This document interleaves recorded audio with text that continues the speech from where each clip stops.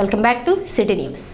ఆలయాలను ధ్వంసం చేసిన దుండగలను అరెస్టు చేయకుండా వాటిని వెలుగులోకి తెస్తున్న వ్యక్తులను అరెస్టు చేయటం ప్రభుత్వ వైఫల్యమేనని హిందూ సంఘటన సభ్యులు పేర్కొన్నారు. ఆలయాల ధ్వంసంలో బీజేపీ పాత్ర ఉందని డీజీపీ వెల్లడించడాన్ని ఆ పార్టీ నాయకులు ఖండిస్తూ డీజీపీ కార్యాలయం ముట్టడికి పిలుపునిచ్చిన నేపథ్యంలో పట్టణంలోని పలువురు బీజేపీ నాయకులు హిందూ సంఘటన సభ్యులు ఆర్ఎస్ఎస్ ప్రతినిధులను పోలీసులు ముందస్తు చర్యలలో భాగంగా హౌస్ అరెస్టులు చేశారు. ఈ సందర్భంగా అడప సంపత్ రాయుడు అవ్వారు శ్రీనివాసరావులు మాట్లాడుతూ ఆలయాల్లో విగ్రహాలను ధ్వంసం చేసిన వారిని అరెస్టు చేయడంలో ప్రభుత్వం వైఫల్యం చెందిందని దానిని కప్పిపుచ్చుతూ బీజేపీ నాయకులను అరెస్టు చేయడం హేయమైన చర్య అని వారు ఆరోపించారు. కార్యక్రమంలో అడుసుమల్లి సుధాకర్ సుబ్బారావు తదితరులు పాల్గొన్నారు. ఈరోజు చాలా దురదృష్టకరమైన రోజు. ఆంధ్రప్రదేశ్లో పరిపాలన సాగుతుంది అనుకోవటం కన్నా ఆంధ్రప్రదేశ్లో పోలీస్ పరిపాలన సాగుతుందంటాం నగ్న సత్యం. ఎందుకంటే పోలీసు అధికారుల మీద అధికార పార్టీ యొక్క ఒత్తిడి మూలంగా ప్రతి ఒక్క వ్యక్తిని కూడా దోషులుగా చూడటం ఒక పక్కన విగ్రహాలు పగిలిపోయినాయి అని చెప్పిన వాళ్ళని విగ్రహాలని ధ్వంసం చేశారని చెప్పిన వాళ్ళని సోషల్ మీడియాలో పెట్టిన వాళ్ళని అరెస్ట్ చేస్తూ భయభ్రాంతులకు గురి చేయటం. అదేవిధంగా ఈ యొక్క సంస్థని రాష్ట్ర ఉన్నతాధికారులు తీసుకెళ్ళడానికి ప్రయత్నం చేస్తుంటే ఆ ఉన్నతాధికారులు తీసుకెళ్ళే ప్రయత్నంలో కార్యకర్తలు వెళ్ళడానికి వీలు లేకుండా అందరినీ కూడా గృహ నిర్బంధం చేయటం గృహ తర్వాత పోలీస్ అరెస్టులు చేయటం చాలా దారుణాతి దారుణమైన అంశం. రాష్ట్ర వ్యాప్తంగా సుమారు నూట పాతిక పైగా హిందూ దేవాలయాల మీద దాడులు కానీ లేదా విగ్రహాల ధ్వంసం కానీ లేదా హిందూ నమ్మకాలను అపహాస్యాలు చేస్తూ గేలి చేస్తూ ప్రదర్శనలు కానీ చేసిన సంఘటనలు గత పద్దెనిమిది నెలలుగా చూస్తూ ఉన్నాం. వీటిల్లో ఏ ఒక్కరిని పట్టుకోకపోగా ఈ సంఘటనలను వెలుగులో తీసుకొచ్చినటువంటి హిందూ కార్యకర్తల్ని అట్లానే హిందూ సంఘటనకు ఐక్యంగా హిందూ సంఘటన ఐక్యత కోసం పనిచేసినటువంటి కొన్ని సంస్థల్ని ఇలా స్టేషన్లు పిలిపించడం కేసులు పెట్టడం అనేది మేము ఖండిస్తూ ఉన్నాం. అలాగే తిరుపతి విషయం నుంచి రామతీర్థ విషయం వరకు కూడా దోషుల్ని పట్టుకోకుండా ఆ సంఘటనలను హైలైట్ చేస్తూ సోషల్ మీడియాలో ముఖ్యంగా ఆ సంఘటనలు ఖండిస్తూ ఆ సంఘటనలు ప్రజల్లో తీసుకెళ్తున్నటువంటి చిన్న చిన్న కార్యకర్తలు వాళ్ళని వేధింపులకు గురి చేయడం సుల్తానాబాద్లోని వర్ధన్ స్మార్ట్లో లక్కీ డ్రా నిర్వహించి విజేతలకు టీవీ ఫ్రిజ్లను బహుమతులుగా అందజేశారు. క్రిస్మస్ న్యూ ఇయర్ సంక్రాంతి పర్వదినాలను పురస్కరించుకొని వర్ధన్ స్మార్ట్లో లక్కీ డ్రా తీశారు. కస్టమర్ల సమక్షంలో తీసిన ఈ డ్రాలో మొదటి బహుమతి ఫిఫ్టీ వన్ ఇంచెస్ టీవీని ఎం కామేశ్వరరావు సెకండ్ ప్రైజ్ ఇద్దరికి ఎం రమేష్ మహేష్లు ఫ్రిజ్ను థర్డ్ ప్రైజ్గా ముగ్గురికి ట్రావెల్ బ్యాగ్స్ బహుమతులుగా అందజేశారు. ఈ కార్యక్రమంలో దివాకర్ కరీముల్లా కొంజేటి కిషోర్ పవిత్ర విజయ వర్ధన్ స్మార్ట్ స్టాఫ్ పాల్గొన్నారు.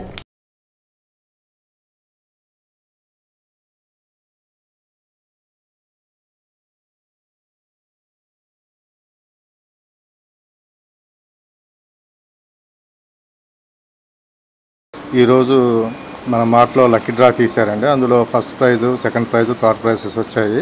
ఇప్పుడు వాళ్ళ పేర్లు అనౌన్స్ చేస్తున్నాము. మొదటిగా ఫస్ట్ ప్రైజు ఎం కామేశ్వరరావు గారు ఫస్ట్ ప్రైజ్ వచ్చిందని వారికి టీవీ ఇస్తారు. సెకండ్ ప్రైజ్ ఎం మహేష్ గారు వాళ్ళకి సెకండ్ ప్రైజ్ వచ్చింది వాళ్ళకి రిఫ్రిజిరేటర్ ఇస్తారండి. థర్డ్ ప్రైజ్ ఎం రమేష్ గారు వారికి సెకండ్ ప్రైజ్ వచ్చింది వారికి అమెరికన్ టూరిస్టర్ ట్రావెలింగ్ బ్యాగ్ ఇస్తారు. Third prize M Rambabu garu వారికి థర్డ్ ప్రైజ్ వచ్చిందండి. వారికి ఆల్ఫా కంపెనీ వారిది ట్రావెలింగ్ బ్యాగ్ ఇస్తారండి. అలాగే K Venila garu third prize K Praveen garu third prize. వారికి కూడా Alpha company travelling bag lucky డ్రాలో వాళ్ళకి వచ్చింది. అరబిందో ఎమర్జెన్సీ మెడికల్ సర్వీస్ వారి ఆధ్వర్యంలో వన్ జీరో ఎయిట్ డ్రైవర్ల విధి నిర్వహణలో తీసుకోవలసిన జాగ్రత్తలు మెళకువల గురించి అవగాహన కార్యక్రమం నిర్వహించారు. స్థానిక మార్కెట్ యార్డు ప్రాంగణంలో జరిగిన ఈ శిక్షణ కార్యక్రమానికి zonal pilot manager CH Kishore పాల్గొని డ్రైవర్లకు అవగాహన కల్పించారు. గోల్డెన్ అవర్ ఎలా రీచ్ అవ్వాలి? వెహికల్ మెయింటెనెన్స్ పేషెంట్స్ను కాపాడే విషయంలో సిబ్బంది యొక్క సహాయ సహకారాలు ఎలా ఉండాలి అనే అంశాలపై అవగాహన కల్పించారు. కార్యక్రమంలో ఆంజనేయులు వి జయకిషోర్ తదితరులు పాల్గొన్నారు. ఇక్కడ మా యొక్క డ్రైవర్లు ఎవరైతే ఉన్నారో వీళ్ళందరికీ టెక్నికల్ సపోర్టు అండ్ సిస్టమ్ గురించి ఎక్స్ప్లెయిన్ చేయడానికి ఇక్కడికి వచ్చే ఈరోజు ట్రైనింగ్ జరుగుతున్నది వీళ్ళకి. వీళ్ళు చాలా అంటే మనం గోల్డెన్ అవర్ అనేది ఎలా రీచ్ కావాలి వెహికల్ మెయింటెనెన్స్ ఎలా చేయాలి వాళ్ళ యొక్క ఆటిట్యూడ్ ఎలా ఉండే దాని మీద మనం ట్రైనింగ్ ఇవ్వడం జరుగుతుందండి. మా వాళ్ళందరూ కూడా అదే దృక్పథంతో పేషెంట్స్ని కాపాడటానికి ప్రయత్నంలో వాళ్ళ యొక్క సహాయ సహకారాలు ఎప్పుడు ఉంటాయండి దాన్ని ఈ యొక్క ఊరి ప్రజలు సద్వినియోగం చేసుకోవాలని కోరుతున్నాను కరోనా వ్యాక్సినేషన్ విషయంలో అపోహలు నమ్మవద్దని వ్యాక్సిన్ సురక్షితమైనదని ప్రభుత్వ వైద్యశాల superintendent doctor M. Sanath Kumari వెల్లడించారు. అవగాహన లోపం కారణంగా తమకు ఏమవుతుందో అనే భయంతో ఎక్కువ మంది వ్యాక్సినేషన్కు ముందుకు రావటం లేదని అన్నారు. తెనాలి ప్రభుత్వ వైద్యశాల నందు రోజుకి వంద మందికి వ్యాక్సిన్ ఇవ్వాల్సి ఉండగా యాభై శాతం మాత్రమే ఇవ్వటం జరుగుతుందని సనత్ కుమారి తెలిపారు. ఈ వ్యాక్సిన్ సురక్షితమైనదని ఎటువంటి సైడ్ ఎఫెక్ట్స్ ఉండవని అందరూ ధైర్యంగా ముందుకు వచ్చి కోవిడ్ వ్యాక్సినేషన్ వేయించుకోవాలని డాక్టర్ సనత్ కుమారి విజ్ఞప్తి చేశారు. కరెక్ట్ రూమర్స్ వల్ల కానీ లేదా కరెక్ట్ ఇన్ఫర్మేషన్ లేకపోవడం వల్ల కానీ అవగాహన లేకపోవడం వల్ల కానీ కొంతమంది ముందుకు రావట్లేదు. అదే మన దగ్గర కూడా జరిగింది. రోజుకి వంద హండ్రెడ్ పర్సెంట్స్కి మనం ఇవ్వాలి వ్యాక్సినేషన్ అని అనుకుంటే అందులో కేవలం ఫిఫ్టీ పర్సెంట్ మాత్రమే చేయగలిగాం మేము. హెల్త్ కేర్ వర్కర్స్ అయ్యిండి కూడా చాలామంది ముందుకు రాలేకపోతున్నారు. అంటే కొన్ని కొంతమంది ప్రెగ్నెంట్ లేడీస్ కొంతమంది పిల్లలకు పాలిస్తున్న వాళ్ళు అలాగే స్టీరాయిడ్స్ మీద ఉన్నవాళ్ళు ఇమ్యూనో కాంప్రమైజ్డ్ వాళ్ళు క్యాన్సర్ ట్రీట్మెంట్ తీసుకుంటున్న వాళ్ళు. అటువంటి వాళ్ళు యాక్చువల్గా అయితే ఎగ్జిమ్టెడే కానీ కొంతమందికి అవగాహన సరిగా లేక ఎక్కడో ఎవరో చనిపోయారు కాబట్టి మాకేమవుతుందో అనుకొని భయపడి ముందుకు రావట్లేదు. ఇది చాలా విచారించదగ్గ విషయము. అందుకే మేము మరియు ఒక అవేర్నెస్ ప్రోగ్రామ్ ఒకటి పెట్టి స్టాఫ్నంతా పిలిచాము చెప్పాము. ఎటువంటి కాంప్లికేషన్స్ ఉండవు. వ్యాక్సిన్ ఎంతో సురక్షమైన సురక్షితమైనది. ఎందుకంటే ఈ వ్యా జబ్బుకు ఒక వ్యాక్సిన్ తప్ప మందు లేదు. ఇది మన కళ్ళతో చూసాము. మన కళ్ళెదురుగా ఎంతోమంది చనిపోయారు. మనకు తెలిసిన వాళ్ళు కావలసిన వాళ్ళు దగ్గర వాళ్ళు. స్వచ్ఛ సర్వేక్షణ్ రెండు వేల ఇరవై ఒకటిలో భాగంగా తెనాలి పురపాలక సంఘానికి మెరుగైన ర్యాంకు సాధించడమే మనందరి లక్ష్యమని శానిటరీ ఇన్స్పెక్టర్ ఆకురాతి రామచంద్రరావు తెలియజేశారు. చిన్నరావుర్లోని పన్నెండవ వార్డులో ఉన్న పద్నాలుగు పదిహేను సచివాలయాలలో పనిచేస్తున్న సిబ్బందికి మరియు వార్డు వాలంటీర్లకు గురువారం నాడు మున్సిపల్ అధికారులు స్వచ్ఛ సర్వేక్షణ్ రెండు వేల ఇరవై ఏడుకి సంబంధించిన సిటిజన్ ఫీడ్బ్యాక్ గురించి అవగాహన కల్పించారు.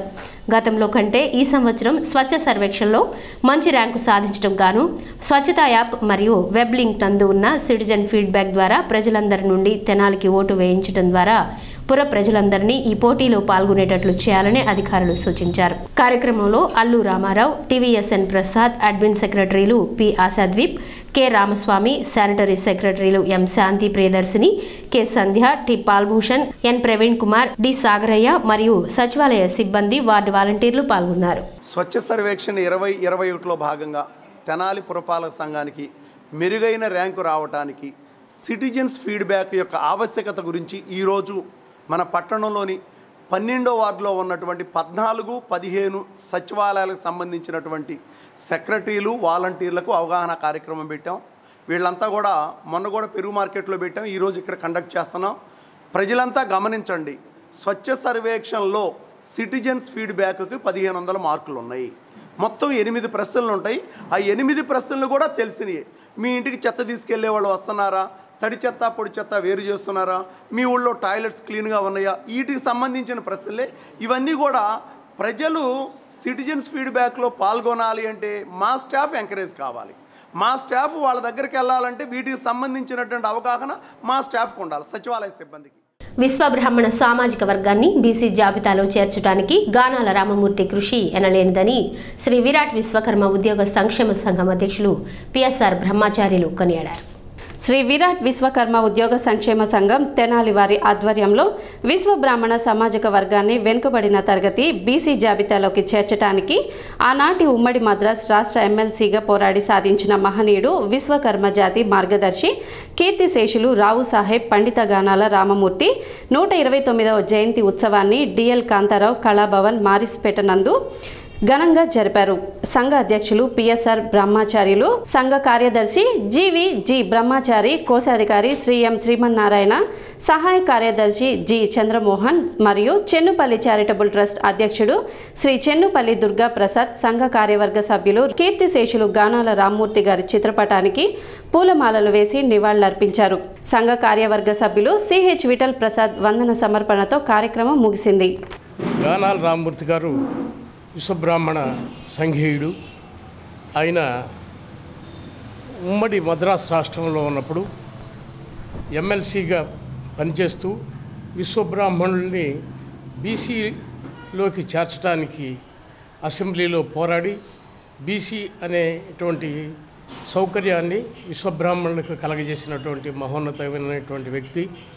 ఆ వ్యక్తి చేసిన కృషి ఫలితంగా ఈరోజు ఈ- విశ్వబ్రాహ్మణులంతా కూడా బీసీ కేటగిరీ కింద లబ్ధి పొందుతూ ఉన్నారు.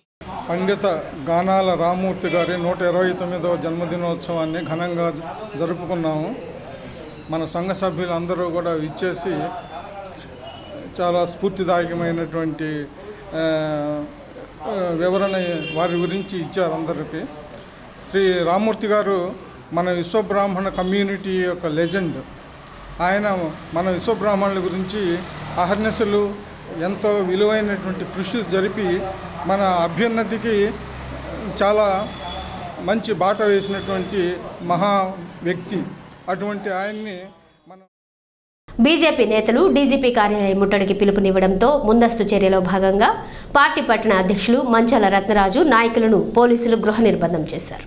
బీజేపీ నేతల అక్రమ అరెస్టులను నిరసిస్తూ రాష్ట్ర పార్టీ పిలుపు మేరకు డీజీపీ కార్యాలయం ముట్టడి కార్యక్రమానికి వెళుతున్న బీజేపీ నేతలను పోలీసులు ముందస్తు చర్యలో భాగంగా హౌస్ అరెస్ట్ చేసి వన్ టౌన్ పోలీస్ స్టేషన్కు తరలించారు.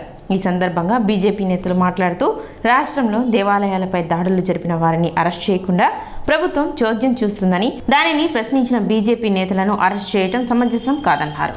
రాష్ట్ర పార్టీ పిలుపు మేరకు మా బీజేపీ నాయకుల్ని కార్యకర్తల్ని అక్రమంగా అరెస్ట్ చేసిన కారణంగా నిరసన తెలియజేయటం కోసం మేము బయలుదేరి వెళ్తుండగా రాత్రి పోలీస్ డిపార్ట్మెంట్ వారు మమ్మల్ని గృహ నిబంధన చేయటం హౌస్ అరెస్ట్ చేయడం జరిగింది.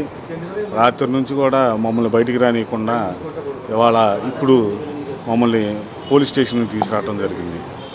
ఈ రాష్ట్రంలో దేవాలయాల మీద దే దేవతా విగ్రహాల మీద దాడులు జరుగుతుంటే ఈ ప్రభుత్వం చోద్యం చూస్తుంది. శోద్యం చూస్తమే కాకుండా అధికార పార్టీ ప్రతిపక్ష పార్టీల మీద నిందలేసుకోవటం తప్ప కాలయాపన చేయటం తప్ప ఈ దాడులు ఎవరు చేస్తున్నారు? సిటీ న్యూస్ ముగించే ముందు ముఖ్యాంశాలు మరోసారి.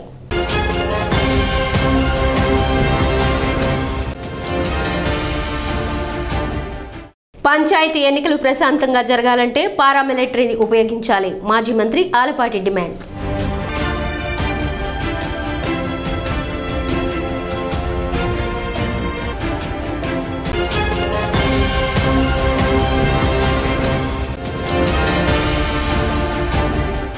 తెనాలి మార్కెట్ యార్డ్కు చేరుకున్న రేషన్ పంపిణీ వాహనాలు.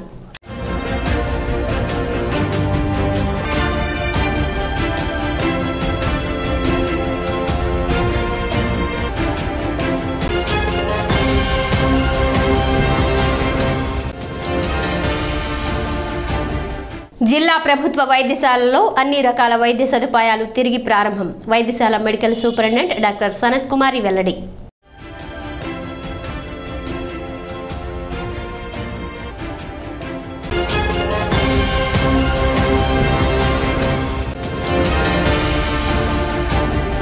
భారతీయ జనతా పార్టీ డీజీపీ కార్యాలయం ముట్టడి యత్నాన్ని భగ్నం చేసిన పోలీసులు. నాయకుల హౌస్ అరెస్ట్.